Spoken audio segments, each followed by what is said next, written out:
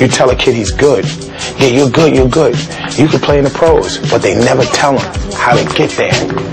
It's hard work, man. You know, if you listen to me, you go to league. If you don't, you work at Kmart. So they were like, like I'm telling you to be spongy. He was one of the kids in the same position as you were.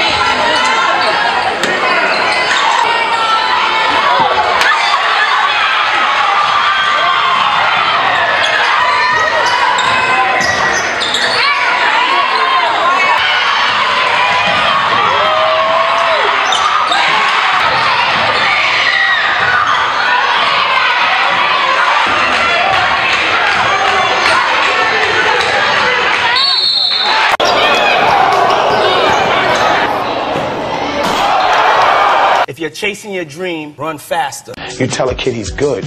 Yeah, you're good, you're good. You can play in the pros, but they never tell him how to get there. It's hard work, man. You know, if you listen to me, you go to league. If you don't, you work at Kmart.